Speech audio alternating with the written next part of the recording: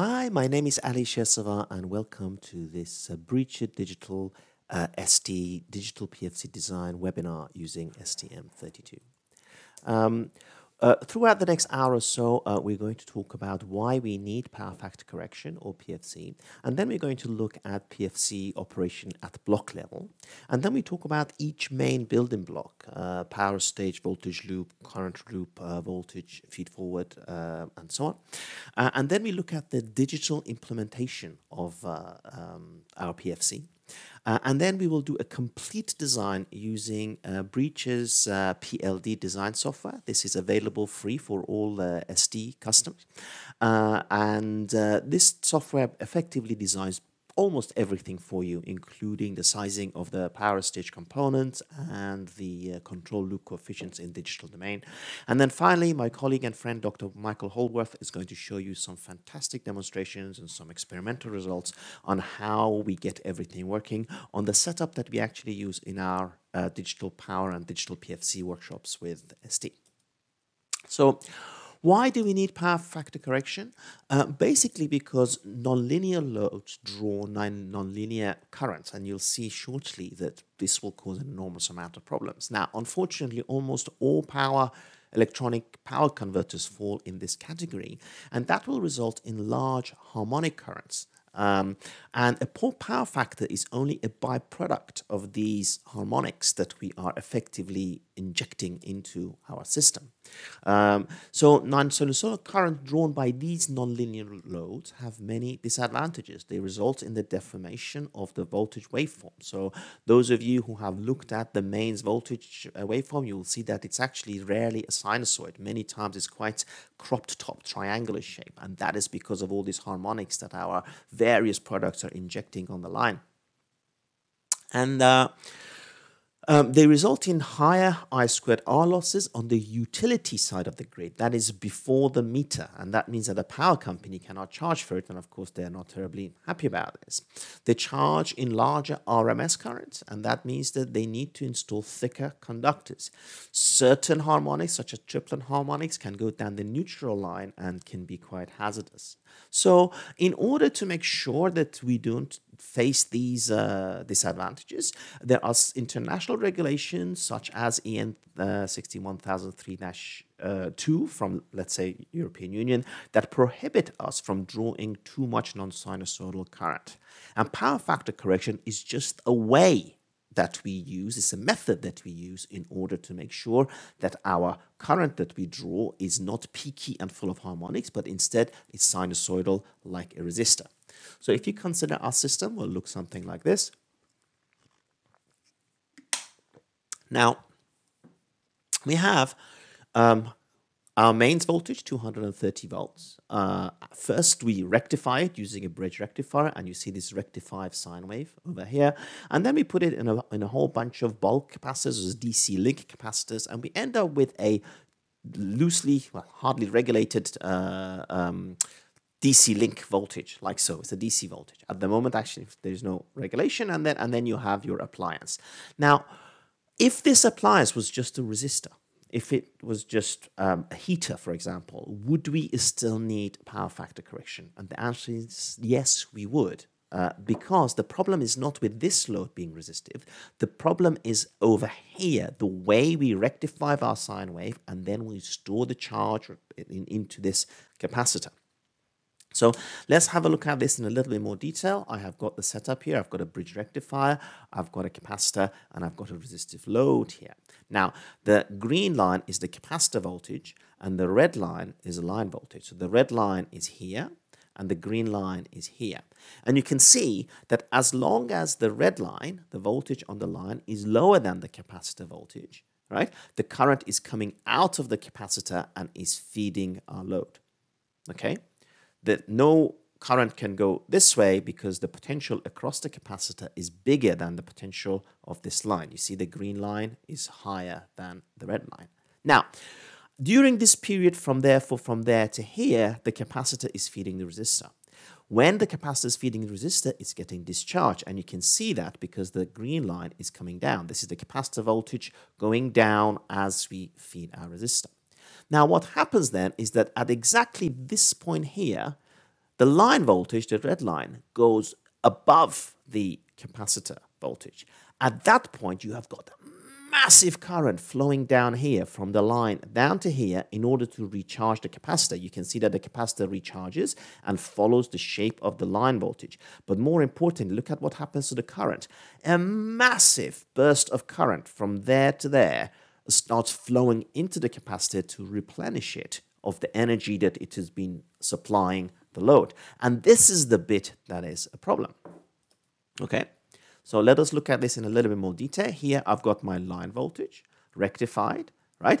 In an ideal world, if we just had a resistor without the bridge rectifiers and without the capacitor, a resistor would take a sinusoidal current like so. And we know that power is voltage times the current. And therefore, you can see that we deliver power during this entire period.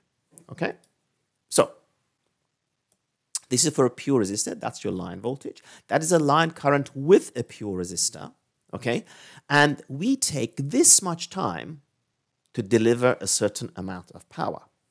Now, because of the action of the bridge rectifier and the capacitor, just like we saw, because we only use this period here to deliver the same amount of current, what happens is that during this period and this period, we have to deliver exactly the same amount of power that we delivered during this entire cycle.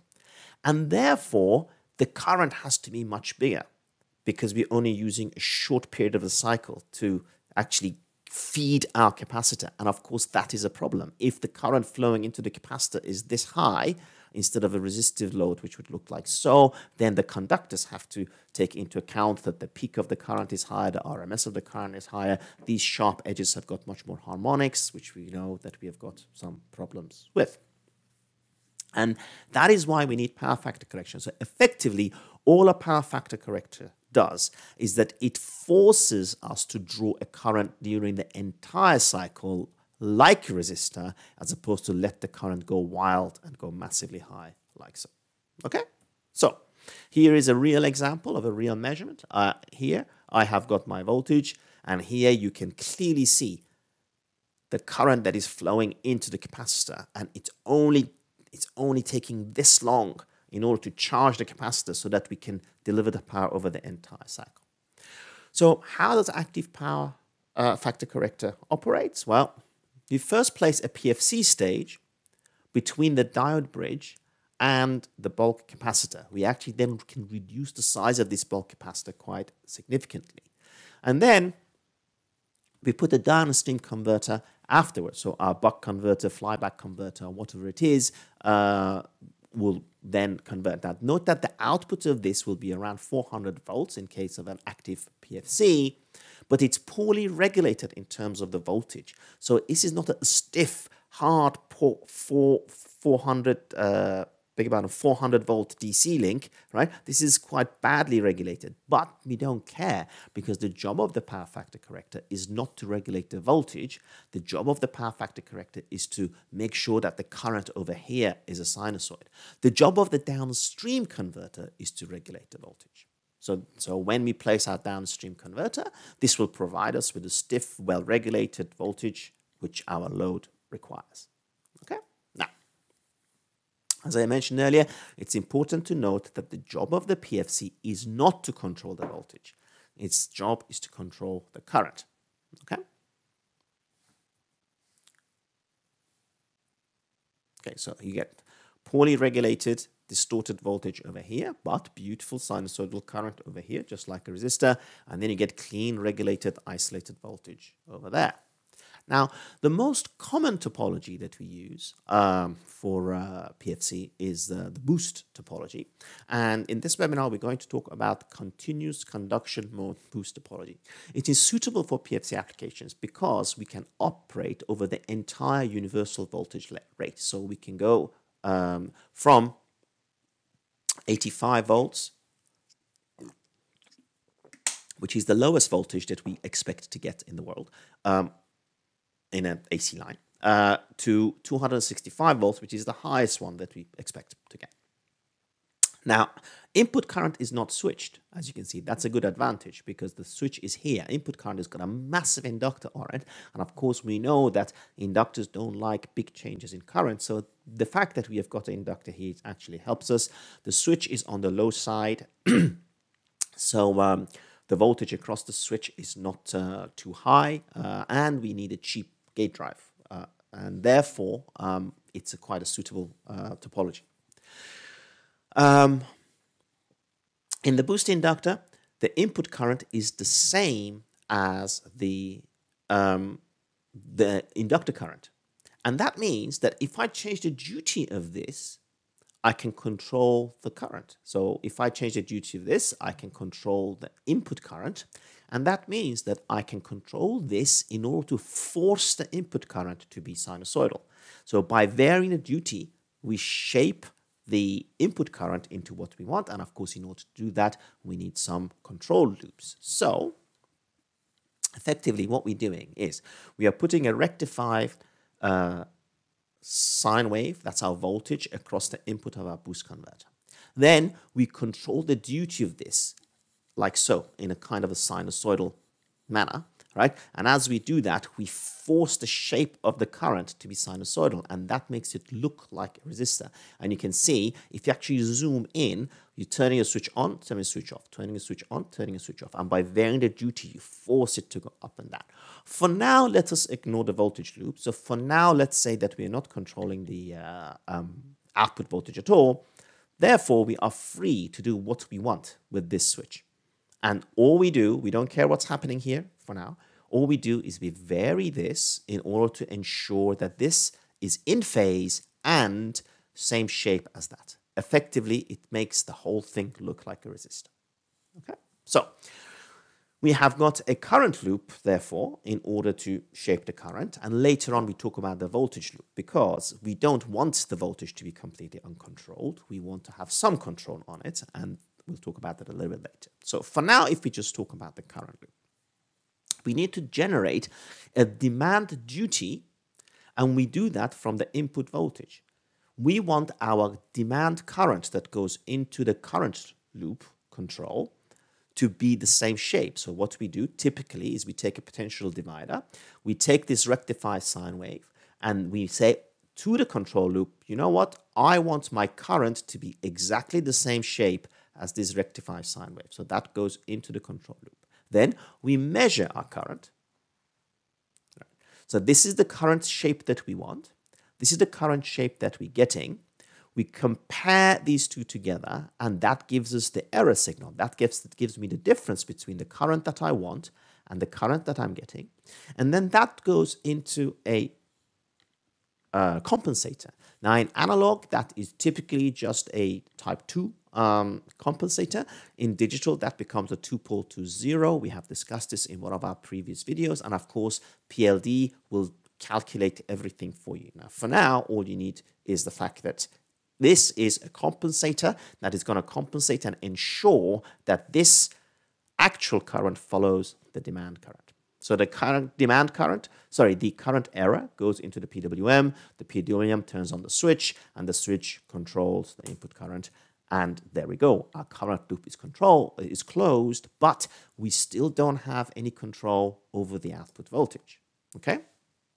As I mentioned earlier, the PLD will design this loop for you, and therefore we're not going to go through the detailed design of this within this short uh, webinar. In fact, in our workshops, we do discuss how you calculate everything and how you control uh, your current.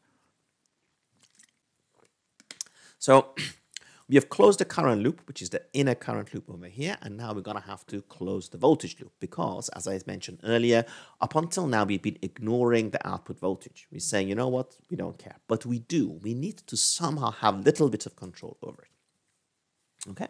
Now, we take the output voltage, we pass it through a potential divider, and then we compare it to a reference voltage. Typically, what we ask for the output voltage to be around 400 volts, usually 375, 385 volts.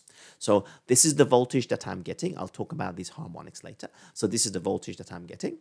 This is the voltage that I want, 400 volts. I compare two together. So this is the error.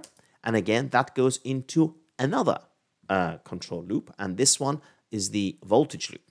The voltage loop takes the error signal and compensates it. We call this VA out, voltage amplifier output. Again, that is a type 2 compensator in analog world. Again, that becomes a 2 pole to 0 in digital world. Again, we have had a, uh, many videos, in fact, on these and how you design them, and we discuss them in a workshop. But for this short webinar, we are going to use PLD, and PLD will design everything for you. Then what we will do is we will multiply this with that. So effectively, the output of this voltage loop is only scaling this demand current. Our demand current is a sinusoidal, uh, a, a rectified sine wave, and the voltage loop will just increase or decrease its amplitude. So for example, if the output suddenly starts drawing too much current, this voltage here will fall down because this is the negative feedback loop. As this will fall down, this VA out will go up. So you multiply this current by a bigger number and therefore you get bigger current. And that's exactly what we want, a negative feedback. There we go. And that is what we're doing. And we have closed both loops. So now we've got an inner current loop and an outer voltage loop. And that gives us a little bit of control over uh, the output voltage. But because the main job is to control the current, you don't want this loop to interfere the, with the performance of that. So typically, the crossover frequency of this is 10 kilohertz, very fast, uh, very quick transient response. And you cannot make this fast because if you do, then you mess this bit up. And of course, our job is to shape the current. So th this one is extremely slow, around 7 to 10 hertz. Okay? And because it's such a slow loop, you end up with having some second harmonic ripple. Now, in the uh, um, um, in Europe, second harmonic of, of 50 hertz would be 100 hertz, and in uh, United States and uh, North America, Canada, it will be around 120 hertz. So here you've got, let's say, 50, 100 uh, hertz of ripple. Now, this causes us a problem because this is being used in order to generate the demand value of the current. And of course, if this has got second harmonic on it, we end up demanding second harmonic. And therefore, one of the jobs of this voltage loop is to attenuate this 100 hertz error signal because we don't want to add extra 100 hertz on top of this. It will, it will, it will reduce the performance of the whole thing. Okay, again, as I mentioned earlier, PLD will design the loop for you. So let's have a look at the next building block, and that is the uh, voltage feed forward filter. We have a problem with the way that we are doing this in that our demand current is being generated from the input voltage. Okay.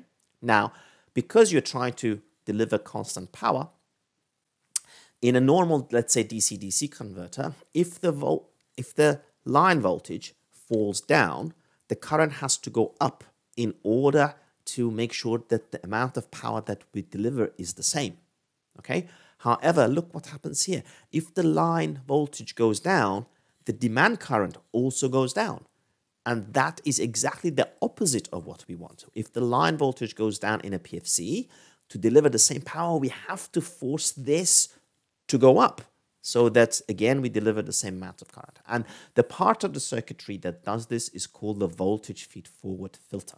Okay, again, in the uh, uh, workshops, we go through a lot of details of how this operates and, and, and how it actually works and how you design one. For the sake of this uh, short webinar, we just use PLD and PLD will design everything for you. So, as I mentioned earlier, ideally in our PFC, we would like the uh, input power to stay constant, but this is not the case because of the fact that the current shape is being generated from the input voltage shape. And of course, if that goes down, the current will also go so down, and we use the uh, voltage feed forward, uh, filter.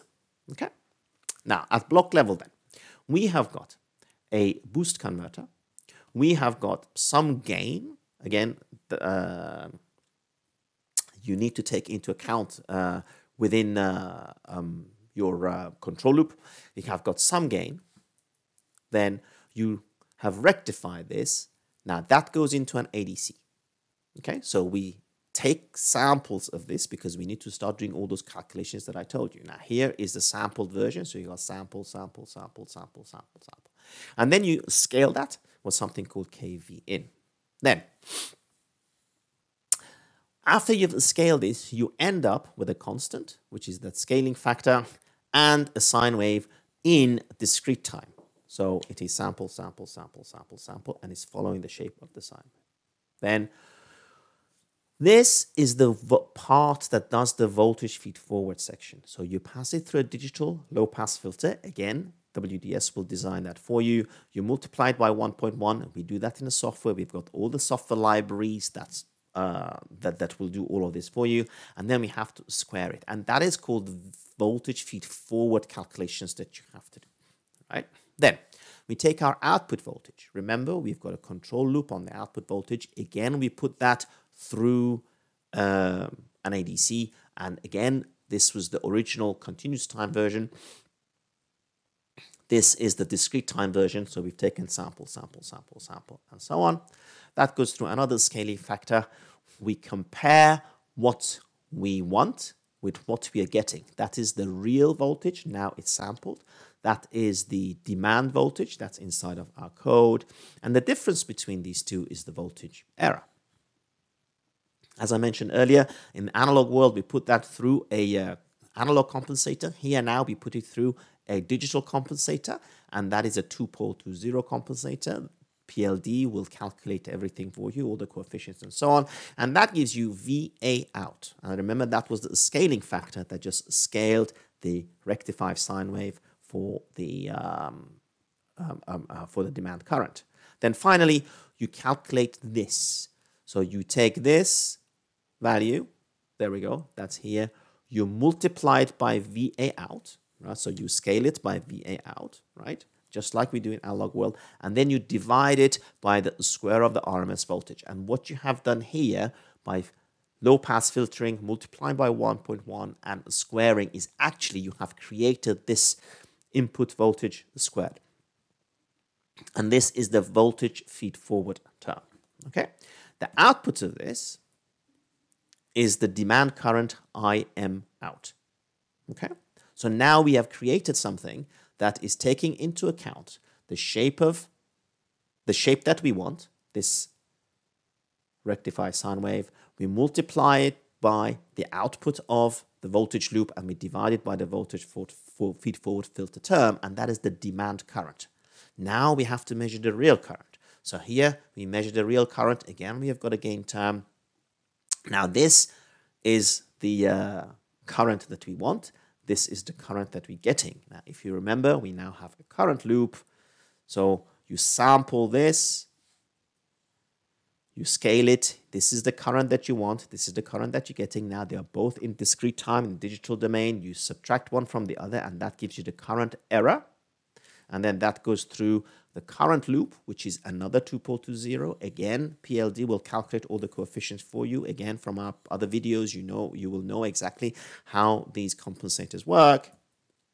And then you scale it again, and then finally you have got your PWM. And that is the one that we feed into the uh, switch. And therefore, uh, everything is uh, we've, we've closed the loops. So we've got the, closed the voltage loop, we've closed the current loop, and we have looked after voltage feed forward filter. And this is a type of setup that we use in order to implement the, um, uh, the, the, the in, in digital domain a digital PFC.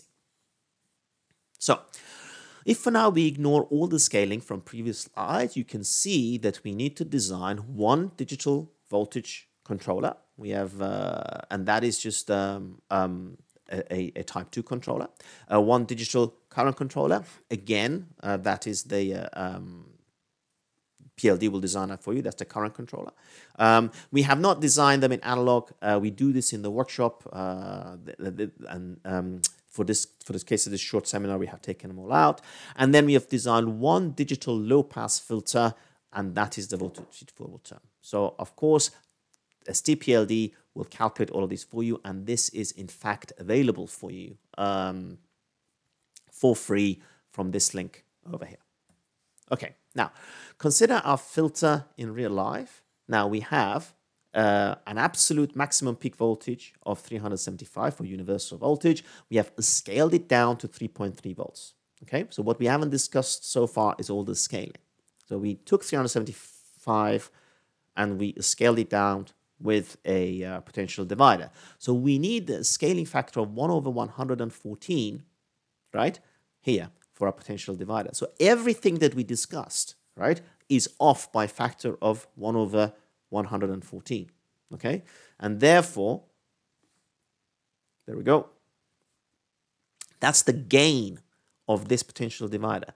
In order to put everything back, you have to anti-scale everything that you calculate. So in your code, you have to multiply by 114 to negate this over here, right? Then let's look at the ADC. ADC takes a voltage from 0 to 3.3 and gives a number between 0 to 4095. So it has a scaling factor of 4095 divided by 3.3. So everything that we have done is off by this scaling factor. So, so to negate this, you have to anti-scale it by reciprocal of this, which is 3.3 divided by 4095. So 4095 divided by 3.3. In your code, you multiply by 3.3 divided by 4095. The multiplication gives you 1, so scaling becomes 1, and therefore you anti-scale it effectively. Okay, so that's the gain of the ADC and so on. So that means that our result is wrong by this scaling factor and that scaling factor. So what you have to do is anti-scale all of these. Okay. Now let's talk about it. This scaling a little bit uh, de more detail. So we started here. We have got uh, G3, which is the scaling factor over here. And we have got a, a scaling factor for the ADC, which is 4095 divided by 3.3. So what we have to do is anti-scale that by exactly the opposite. Okay, 1 over G3 times GADC. So if we have a look here, what scaling factors we have? We have one scaling factor there, one scaling factor there, one scaling factor there, one scaling factor there. Uh, where's the next one? Yeah, one scaling factor over here, one scaling factor over here, and you have one scaling factor over here. And you see that you've got a whole bunch of scaling factors. Again, we have written library functions that deals with all of these. All you have to do is know what this resistor and that resistor is. Calculate again. You put this in the library functions that are available for you, and all the scalings will be looked after for you. Okay, so again in the workshop we discuss exactly how you negate all of these, but for the sake of this uh, short webinar, all you have to do is when you look at the code samples that we give you, and they're in fact named exactly the same. When you see G2, when you see G3, all you have to do is work it out and type it into the code, and everything else will be calculated for. This is some experimental results for you. Now then, um, this is the rectified input voltage right? Um, this is the current. The blue trace is the current. The green trace is the input voltage. This is the rectified input voltage. And you can see that the current is following beautifully the, the, the voltage. Um, it's a bit noisier because we're actually switching. We're forcing it to shape like uh, to be to be shaped like a sinusoid. If it were a, um, a resistor, obviously this would have been clean. And then finally, this is the output voltage at around let's say 400 volts. Or oh, this is the low voltage board by the way. Um, uh, in our workshops, because we cannot deal with 400 volts because it can uh, hurt the uh, attendees, we have designed this special board specifically for our workshops whereby we have divided everything by 10. So you put in 23 volts sinusoid and you take out 40 volts uh, DC. Uh, and this is the workshop that we use on our in our workshop so that you can have some real hands-on experience. You really code this, you do calculate everything, you do some uh, real measurements on this board. And there we go. Here is your output voltage. And you can just see that is not quite as straight, and that is because it has got that second harmonic superimposed on top of it. And then if I look at it uh, on my oscilloscope, I looked at the harmonics. These are the harmonics with the power factor switched on. You can see now that the voltage and the current are both sinusoid, And you can see that this is my uh, switching frequency, and after that, the harmonics fall down quite significantly. Uh, if you measure the, uh, if you decide to measure the uh, loop, uh, you should really measure both the voltage loop and the current loop. We do that using uh, Omicron's Bode 100. We've got some great videos on how you measure the loops of um, of, of, power factor correctors um, on our on our website, and this is the type of result that you'd get. Remember, I said that the um, um the, the voltage loop is usually very slow at around 6 or 7 hertz, 6 to 10 hertz. And there we go, we have here designed for 7 hertz, and we've got 60 degrees of phase margin. So it shows that the design using PLD is actually, this is a real measurement. It is giving us very good results. Okay, so uh, I am now going to switch uh, over to ST PLD, and I'm going to design one um, step by step uh, all the way. And uh, after that, uh, I will pass on to Michael, who will show you the experimental results. So let's go to STPLD. Okay, so when you open up STPLD, again, you can download this directly from our website. You provide it with the, um, the voltages that you want. So the minimum voltage for universal voltage, that is usually 85 volts. Um, nominal voltage, let's say, is 230 volts for the European Union maximum uh, voltage, let's say 275 volts. Frequency in the European Union, that would be 50 hertz. Uh, in North America, that would be 60 hertz. Of course, EN 61000 3-2 is a European Union standard, and therefore we go at 50 hertz. Let's design it for 250 watts, and let's use switching frequency of 200 kilohertz.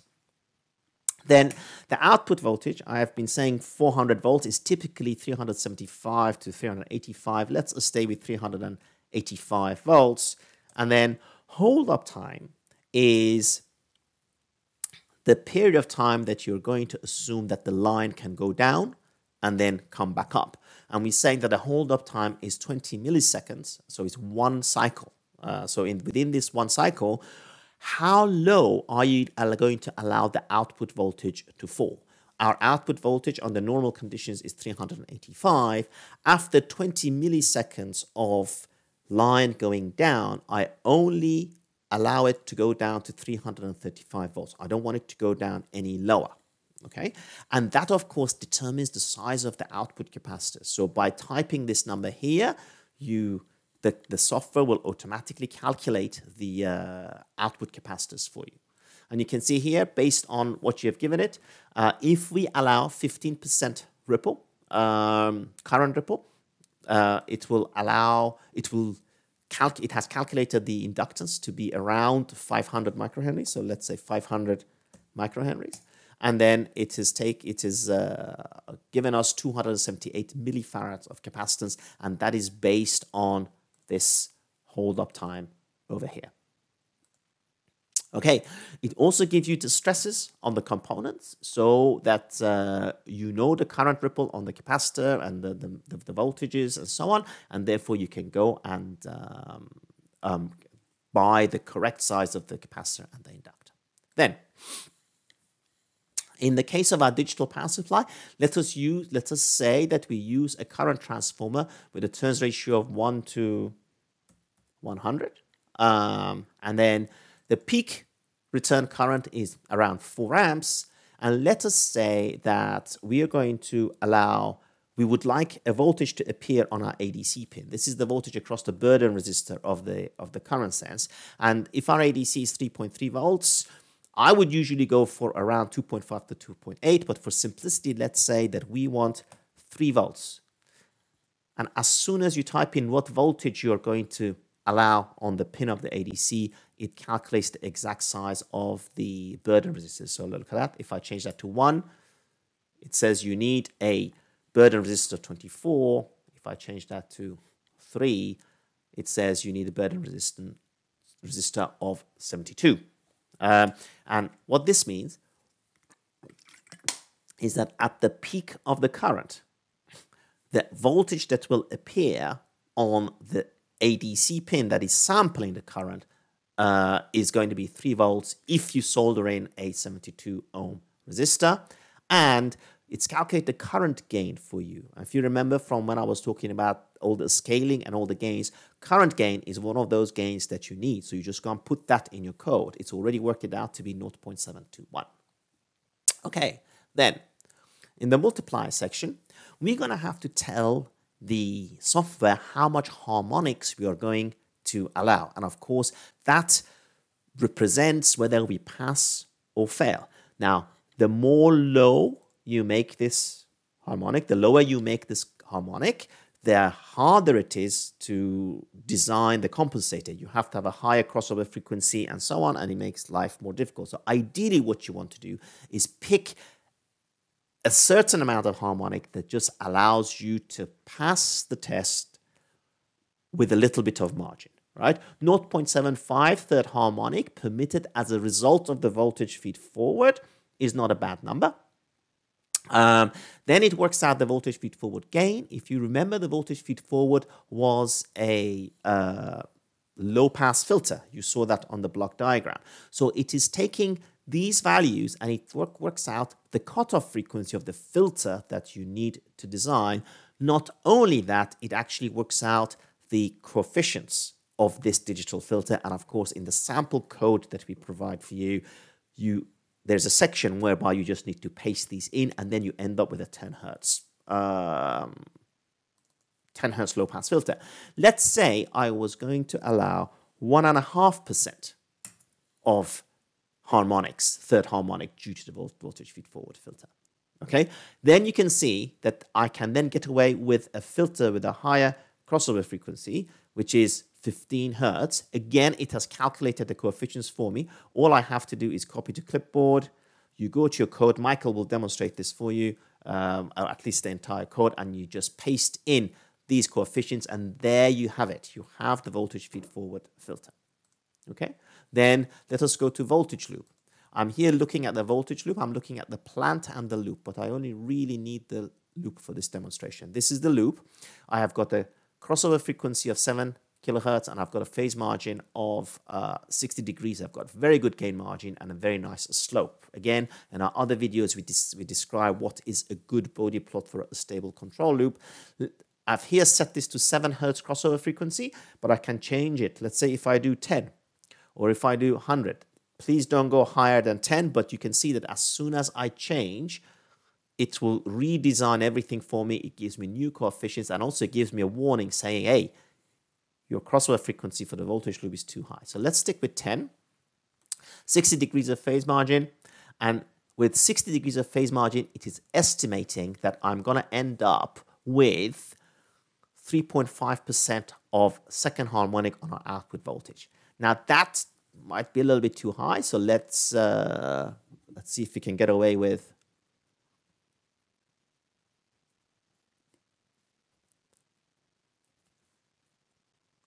seven, look how quickly, how, how it calculates it. So if I have a crossover frequency of 7 hertz, I end up with 1.7% of um, harmonics on my output.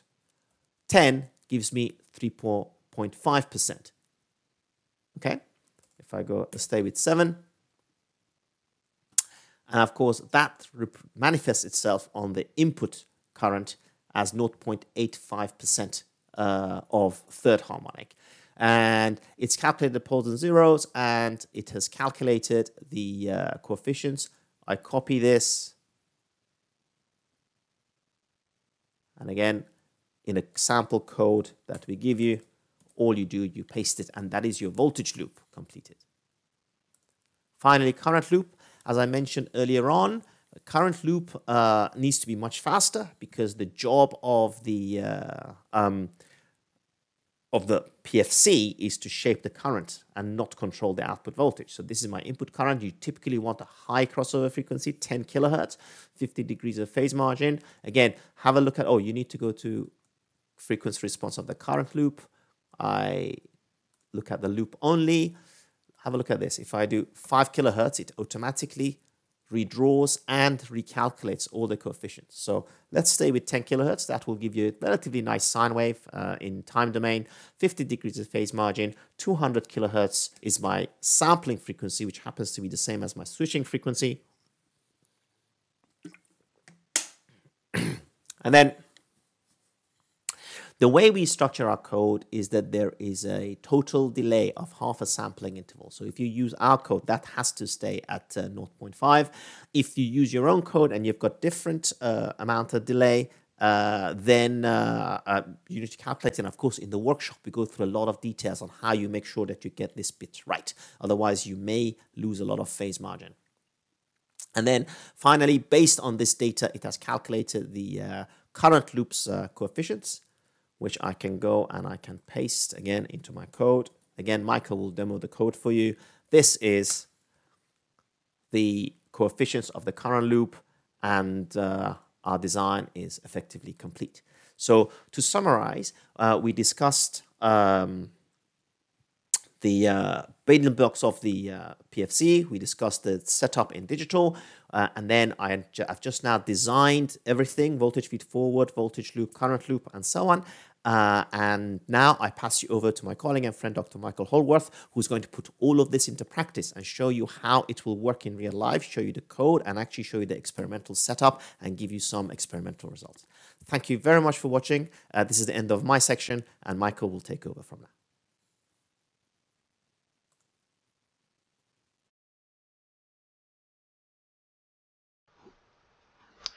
Okay, thanks, Ali. So in this half of the webinar, we're going to look at some experimental results using our uh, digital PFC starter kit. So this is the starter kit that we use in our workshops.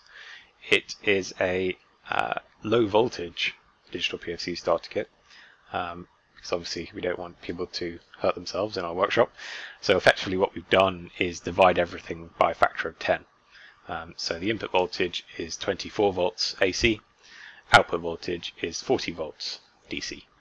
Um, this is a CCM boost PFC and there are two phases so we can do interleaved CCM boost PFC. Obviously you can see the resistive load here. We have a uh, roughly 16 watt load bank here um, which you can control using the switches or using the MOSFETs uh, and the ST Nucleo card just plugs directly into the starter kit so it's a complete kit that allows us to do design and development work at safe low voltages. Um, it's very useful because then you know, if you're doing some uh, development work, uh, things won't pop dramatically. Uh, so yes, that's the board we're using. Um, all we need to do now is look at how we implement the uh, digital PFC in terms of code. Uh, so what do we need to implement uh, on our digital PFC today? Well, looking at this block diagram, we have our boost power stage here and we're going to use the ADC to sample several points. Um, we're going to be sampling our input voltage, scaled down by a factor G3, uh, sampled by the ADC, and then that gets passed through our digital low-pass filter. It gets scaled by a factor of 1.1 and then squared to give to convert from average to RMS and then RMS squared.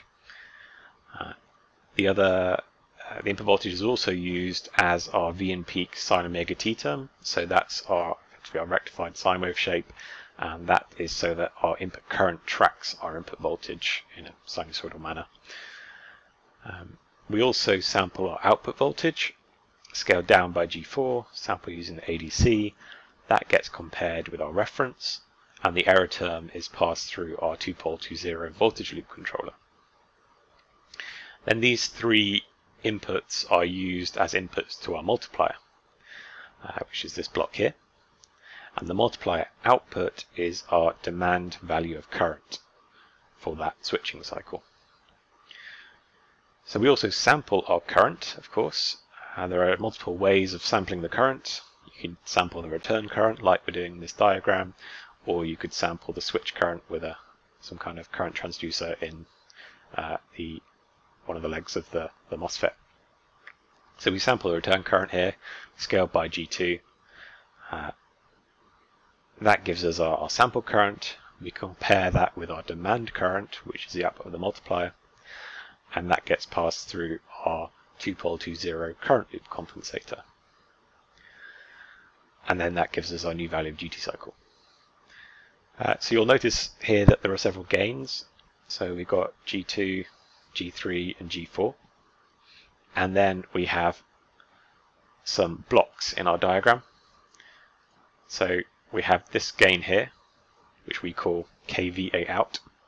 And this ensures that the demand current value is in the same units as a sampled current value. So you can see our sampled current here is GADC G2 and the output of our multiplier, our demand current, also needs to be in the same units, GADC G2. Uh, and we go through this in a lot of detail in the workshop, but effectively, we, if we multiply the output of our voltage loop by this gain, kVA out, that's what we get. Then we need to negate these gains before we uh, set our PVM, PWM, to ensure we get the correct crossover frequency of our current loop. So we do 1 over GADC G2 at the output of our current loop compensator. And in our code, we call that KI loop. So we'll look at where those are in our code shortly. Okay, so now we need to configure the uh, STM32 chip. We're using the STM32 G474 device today. And to do that, we are using STM32 CubeMX. Now the setup is very similar to the um, setup we did in the Digital Power DC-DC webinar a few weeks ago. Um, so I won't go through it in, in, as much detail. The only real difference is that we are sampling more channels with our ADC. In our DC-DC webinar, we just sample the output voltage. In this digital PFC webinar, we're sampling, as you can see here, uh, our input voltage, our output voltage, our return current, and down here uh, the switch current, so IQ1 and IQ2 for the two phases that we have on the interleaved boost. Um, so there are more ADC channels to configure. So we are using ADC1 to sample our input voltage and output voltage, and ADC2 to sample our currents. So let's take a look at ADC2, our currents. We're not actually using the return current in this uh, example. Um, we are just using the switch current. So we have configured injected conversion mode with two conversions. Um, first conversion rank 1 is channel 3, uh, which is this one here, the, the uh, FET Q1, which is one of the phases and then the second conversion is uh, channel 4 which is Q2 the current in the in the other phase okay so we are doing a CCM boost PFC which means that we are using average current mode control so we need to make sure that the current that we sample is the average current um, so for CCM as you can imagine we uh, turn the switch on and the current rises, then we turn the switch off and the current falls. So if we set our ADC to sample in the middle of our on time, that will be the middle of the, the rise of our current, that will be equal to the average current for that switching cycle. So to do this, we use the high resolution timer. So we're using high res timer trigger 2 event to trigger the sampling of our ADC. So let's take a look at our high-res timer. High-res timer here, ADC triggers, and trigger 2 event is enabled. And there are two trigger sources, timer A compare for, timer B compare for. So timer A is used to control uh, switch Q1, so the PWM of switch Q1, and then timer B is used to control the PWM of switch Q2.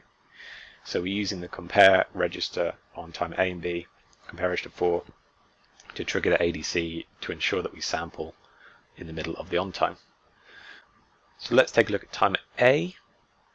So timer A, again, we won't go through all the configuration. We did that in the DC-DC webinar. Please feel free to take a look at that. Um, but effectively, let's go down to the output configuration. TA1 drives the P PWM of our switch Q1. the set event is compare register 1, compare unit 1, and the reset event is compare unit 3.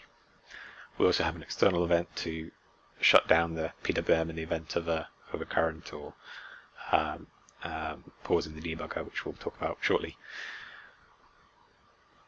Um, and then we said we're using compare register 4, compare unit 4 to um, take the ADC sample. So you'll note that in the code here we haven't actually set the compare values. Um, sorry, in, in CubeMX we've not actually set the compare values because we're, we're going to do that in the code. We have some digital PFC library functions that manage the setup of the compare unit so that we get the, uh, the correct control um, sampling at the correct point, which we'll look at in a moment. So that's the high-res timer. Uh, what we do now is just press generate code and then that will open uh, our selected IDE. We're using uh, Embedded Workbench from IAR as our IDE today. Um, let's just take a look at the main.c file. So we've got some header files. Um, there's main.h which sets up the GPIOs, defines the GPIOs, and then we have our digital power library function and our Biricha PFC utility functions. We're actually combining these into a new library, digital power library, that will be released soon. So please subscribe our website uh, for for updates. Then we have a board-specific header file. Let's take a look at this. Um, and in this board-specific header file, this is where we define the gains. So G3, G, sorry, G2, G3, G4 that we saw in the block diagram are defined here, as well as KV out and KI loop. So then further down in our main.c file, we have our coefficients. So these are the coefficients that uh, Ali generated using PLD. Uh, we just copy and paste them into our code. So we have the VFF filter coefficients uh, for a voltage feed-forward filter, um, our voltage loop coefficients with a crossover of 7 Hz 50 degrees, and our current loop coefficients with a crossover of 10 kHz 50 degrees. We've defined our switching frequency as 200 kHz and our voltage loop frequency as 6 kHz and we define our desired output voltage, over voltage protection level, under voltage protection level, etc. We are using a uh, data structure called that we've created called PFC data float to hold all of the variables needed to implement our digital PFC. So that will be all of the 2POL20 controllers, um, the soft start, uh, the runtime variables, etc., are all stored in this data structure which we have called, we've created an instance of called myPFC. Um, so then we have the interrupt service routines. We'll look at them in a moment. Let's just scroll down to our main function first. Uh, so here we have in main, this is where the microcontroller jumps to at the beginning of execution. Um, we configure uh, GPIOs, ADCs, uh, comparator DACs, etc. Uh, this is all auto-generated code uh, from CubeMX. Uh, anything inside these user code begin um, tags is the code that we've inserted. So this is code that we've inserted here. Uh, we're turning off switches because on our um, starter kit here we've got some MOSFET controlled load banks, so we just set them to zero to begin with. Uh, then we have our digital power or digital PFC library functions. So here's one of them. This configures our PFC controller. So PFC01 config float. We pass it a pointer to our PFC structure. We pass it the switching frequency, voltage loop, frequency, and the soft start time in milliseconds. Then we configure our current loop uh, using this PFC01 iLoop float init function. Again, pointer to structure, current loop coefficients, min-max duty.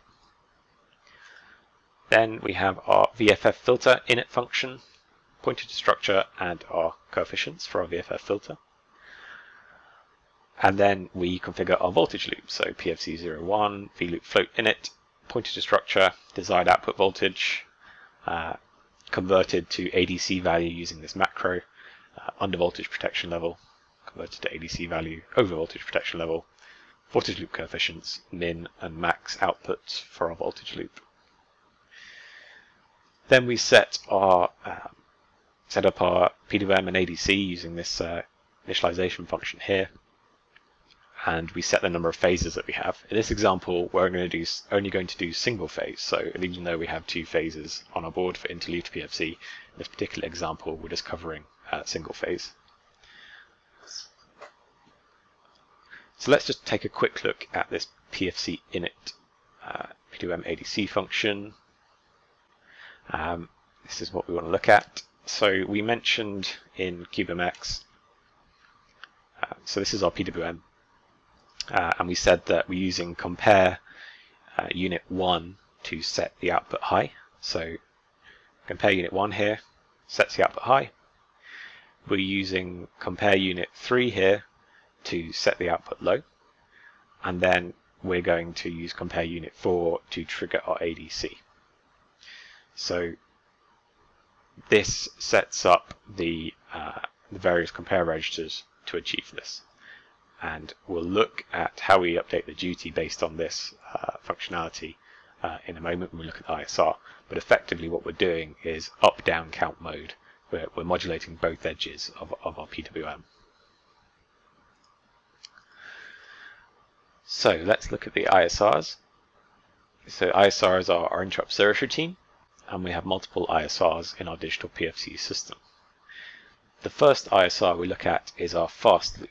So the fast loop controls our current, it runs at our switching frequency, and we're using high-res timer A uh, to implement our current loop. So high-res timer A interrupt will occur um, every switching cycle, so at 200 kilohertz we first thing we do is set a pin high so we can record on our scope when we enter the ISR. We clear our interrupt flag and we then we read the value of our current. And we store that in our um, uh, MyPFC structure.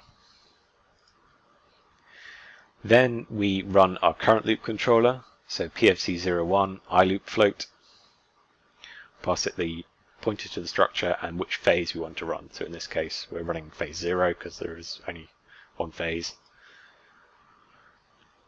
That will execute the 2 polarity 0 controller and give us our new value of duty. So now we read that. So my PFC, I loop 2 polarity 0, which phase 0, uh, dot mout gets the value of duty from our PFC structure, and then we divide it by 2. Why do we divide it by 2? Well, as we saw a few moments ago, we're modulating both the trailing and leading edge of our PWM uh, using an up-down count mode effectively. So we need to split our duty between the trailing and leading edges. Um, we then AND that with this duty mask, and that's exactly what it what it says. It's a mask. So if this was all zero, then obviously the duty would be zero. Uh, the mask is set to zero in the case of a fault, so over voltage, under voltage, or uh, some other fault condition, the mask would be set to zero. And that would shut down our boost power stage. So then we update the compare registers using this macro here. Let's just take a look at this. And we said that we're using compare unit 1 to set the rising edge and compare unit 3 to set the falling edge. So all centered around the uh, center of our switching cycle. So I loop ticks is our switching period, divided by 2 is the middle of our switching period, minus the uh, compared the duty value divided by 2 uh, would be the rising edge, and then middle of period plus duty divided by 2 would be the falling edge here. And that means that we can always sample at the middle of our cycle to achieve our average current. Then we set the ISR pin low to mark the end of our uh, ISR. The next ISR we want to look at is the slow loop. So the slow loop runs at 6 kilohertz and in STM Cube MX we set up timer D uh, to run at 6 kilohertz. So again, we set a pin high so we can measure the duration, check it's running. We clear a flag, We read our input voltage, we read our output voltage, store those in our structure. Uh, we have a PFC waveform record function here, which we use in our workshop to uh, display the variables uh, in, in the IDE, uh, effectively on a scope. We won't look at that uh, here though. Then we set the soft start, whether it's soft starting or soft stopping. And then we run our voltage loop. So PFC0 on V loop executes all of the, the voltage loop. So let's just take a look at this. So PFC0 on V loop. Inside this function, we run the voltage shoot forward filter. We get our V in RMS squared value. We execute the voltage loop, the 2 to 0 voltage loop. Then we calculate our multiplier scaling factor. Then we check for over voltage, we check for under voltage, uh, and then we update the soft start accordingly and we also update our duty mask etc so it's all contained within that one function. Then finally we just set the output pin low uh, so that we can measure the duration. Good. Okay so let's just run the code and uh, test. So we are just programming the device. Yep so we're up and running. And now we need to uh, turn on AC. So to do this, we are several uh, several ways you can do this. So you could use a AC source if you have one. Uh, obviously, set it to 24 volts uh, uh, for the low voltage board. Um, or if you don't have an AC source, you can get 230, 220 volt to 24 volt AC adapters, or in the US 120 to 24 volt AC adapters there's actually quite a few 24 volt AC devices out there, like CCTV cameras and um, doorbells, etc., Christmas lights. So they're actually quite readily available. Uh, but if you have an AC source, you can use this as well. So this uh, AC source has been set to 24 volts, uh, 0 DC, and let's measure the power factor. Uh, yes, so let's turn that on. Okay, and we just need to turn on the probes and set the time base. Okay, so we have on the screen here uh, our input voltage is channel 3, so 24 volt AC input voltage, and the change the trigger. Uh, yellow trace channel 1 is the scaled down and rectified input voltage. So now we just need to turn on our board and run our code. So first we'll turn on the board and this is without PFC running. So PFC is not running. Um, so what we see now is a peaky waveform rich in harmonics, which is what we don't want, which is what we're trying to avoid. This is the typical waveform that you see when you have a bridge rectifier followed by some bulk capacitance. So the bulk capacitance is being charged towards the crest of the input voltage sine wave when the uh, bridge rectifier is, is, conducting. We have the output voltage on channel 4. Um, the boost PFC is not running at the moment, so we're getting 20 volts per division, so roughly 30 volts uh, on, on the output. So now we can run our code and see what happens. So I'm just going to press run here, go back to the scope, and then uh, PFC is running, so I'll just turn on some load. And you can see our input current, uh, channel 2, is now a very nice sinusoid in phase with the input voltage, um, with, from the looks of it, very, very few harmonics other than the fundamental. So that's good. Our output voltage, channel 4, is 40 volts, uh, which is what we want. And let's just change the load to see if our voltage loop is working. So input current drops, output voltage is still 40 volts. So our voltage loop is doing what it should do. And at very low load, uh, we're in DCM for part of the cycle. So this uh, notch here is when we're going from DCM to CCM.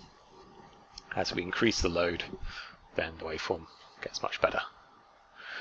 So we're full load at the moment. Um, let's look at our power factor. So let me move this here.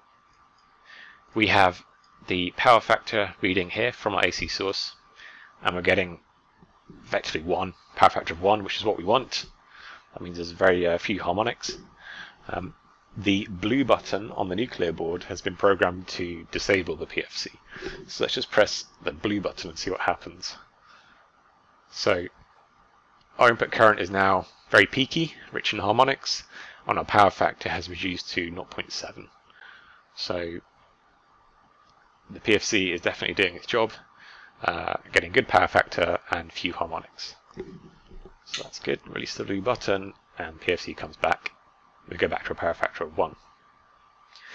Okay, so let's analyze this in a bit more detail. We can use the uh, nice features of our Siglent oscilloscope uh, to look at the harmonics. So if we um, turn on the math function, F1 here, uh, we want to do an FFT on channel 2 and we need to just change the time base a bit. Yeah, let's do that. And we'll change the horizontal. So we start at um, let's say 1 hertz. And then we end at let's say 1 kilohertz.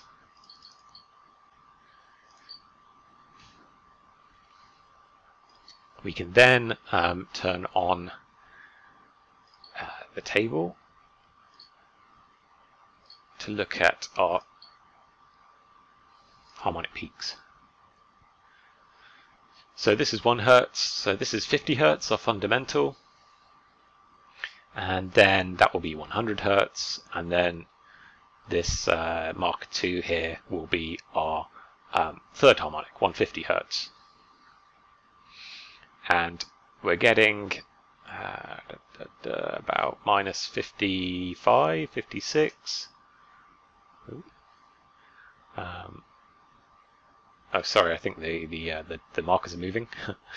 uh, so at the moment it's the third harmonic, the the third harmonic. This one here, minus 34. Yeah, two and three are switching, so minus 33. Okay, so let's just see what happens to this harmonic here, 150 hertz, third harmonic, uh, when we disable PFC. So let's disable the PFC. Whoa, all the harmonics shoot up. Uh, and this one here is now minus 8 dB. So we've gone from minus 33 to minus 8. So that's 25 dB a difference. That's a significant difference. Um, so you can see obviously that our PFC is doing its job. If I release this blue button, all of the harmonics will reduce. And wait a moment to update. There we go. And this harmonic, the third harmonic, has reduced to minus 34, 33 dB there. Um, so a difference of 25 dB. So a significant difference there. Good. So our, so our PFC appears to be working, reducing the harmonics. Um, you could then compare these against the standard um, 61000-3-2, depending on which class device you're using, uh, and check that you pass the limits. Uh, i have tested this with the power analyzer, so I know this uh, passes uh, very well. Um, but you can also use your Scopes FFT function to do that for you. Good. Okay, so let's now just take a look at our uh, switching frequency. So I'll disable the FFT. I'll bring in the um, time base. So we have our, this is obviously at um, 5 milliseconds per division. So we see our 100 hertz uh, rectified input voltage or 50 hertz input voltage um, and 50 hertz current there. Um, but obviously our, our switching frequency is much higher than this. We're switching at 200 kilohertz.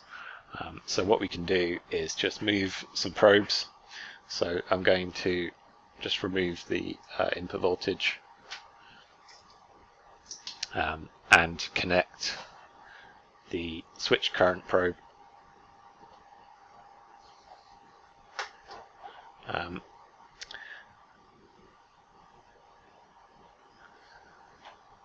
you can see the switch current is uh, total that's good, that's what we want. Um, and then I'm going to move the uh, scaled input voltage to the PWM and change the trigger. Now, if I just go to something closer to so 5 microseconds per division, uh, obviously 200 kilohertz is our switching frequency, so you can see that our PWM is changing sinusoidally, as you'd expect, to give us that sinusoidal input current. Um, so I'm just going to use a single trigger. Uh, and there we go, we see the uh, PWM at 200 kilohertz, because we're 5 microseconds per division, uh, and the switch current, you can see there, a nice uh, ramp on a step in CCM, and we're taking our sample in the middle of the on time, so it's nice and clean, there's no, there's no spikes there. So that's good. Um, the other signal we want to look at is our voltage loop. Our voltage loop, we said, is, much, is running much slower, 6 kilohertz.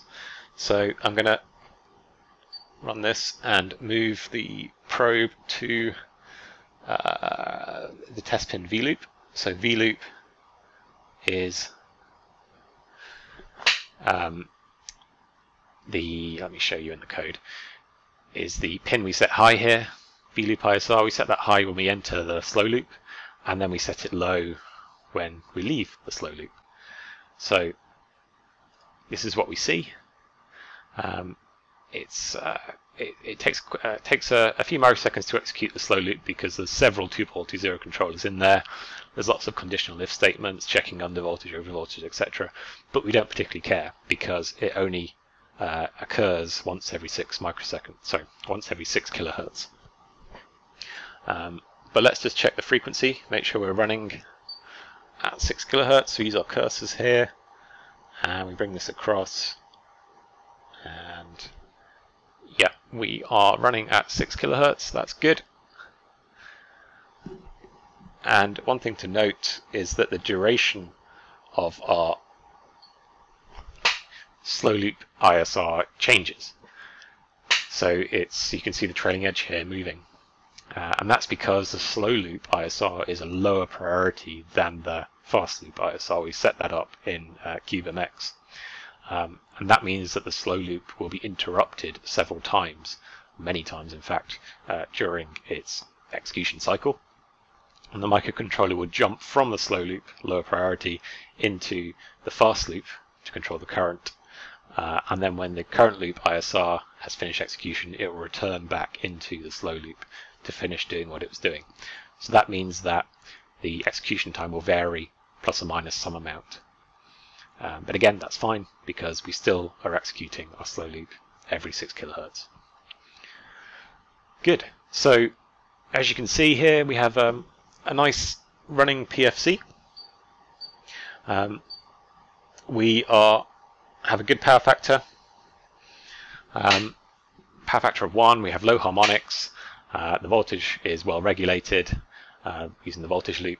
Um, and effectively we have a very well designed PFC.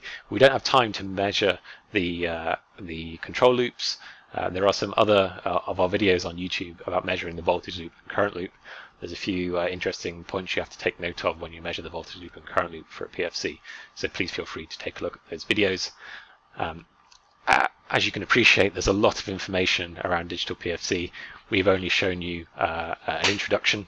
Uh, we spend days, three days in our workshop, uh, going through all this information and showing you how to design digital PFC. So if you get the chance, uh, please do come along to our workshops when we run them again, hopefully next year, um, and we'll go through this in much, much more detail. Uh, all that uh, remains for me to say is thank you very much for watching. Uh, we hope to see you at one of our workshops in the future. Please visit our website to find more of these resources available for you to download. And don't forget to like and subscribe to our YouTube channel. Thank you very much and see you again soon. Thank you.